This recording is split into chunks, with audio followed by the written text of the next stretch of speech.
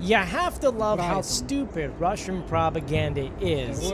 Because what you're going to see today is one of those things that just makes you go, and they believe that? Circulating all over Russia right now is this picture right here, which is essentially an Abrams tank which are the same tanks that America has promised Ukraine, what, 31 of them? Something like that. So this picture is going around on many Russian telegram channels with this caption underneath of it. It says, our soldiers destroyed the first American tank Abrams. In confirmation of this, the musicians, which is their fighting group, near Bakhmut, sent us this photo. Glory to Russia, victory is with us.